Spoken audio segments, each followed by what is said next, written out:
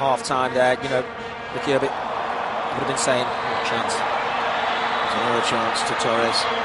In the middle, with oh. oh, what a horrible mistake! And Villa profits within the opening three minutes of the second half. It's Spain 5, New Zealand nil, and Del Bosque's European champions are home and hosed. And Boyens, who is a massive Liverpool fan, would have hoped today to get the shirt of Fernando Torres. Well, he hasn't even been able to get close to Torres and co. And it was his error that led to Villa. And Villa makes it five for Spain and continues his wonderful record 17 in his last 17 internationals. Well, just look where it comes from. I mean, it's a, it, just bad defending once again. Didn't anticipate that.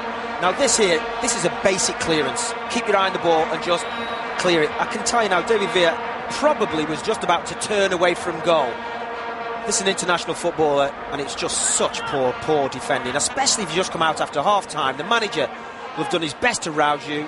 I mean, that's just basic. It really is. What a horrible moment for him.